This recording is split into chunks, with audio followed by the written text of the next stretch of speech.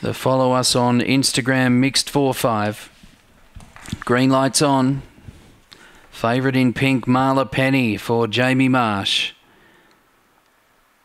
Racing. Flying out Blackpool Bolt, joined by Rebellion Bay, who hustles through to lead. Pranceloma makes ground. Marla Penny fourth, working forward as Pranceloma copped a bump. So did West on Soho. Well back Herman Munster, Pranceloma, Einsteinium. Leader Rebellion Bay. Blackpool Bolt three lengths away. Rebellion Bay in front. Rebellion Bay beat Blackpool Bolt by a length. Third, Marla Penny. Fourth, Pranceloma and then Herman Munster, top Farnine, Steinium, West on Soho, 22.75.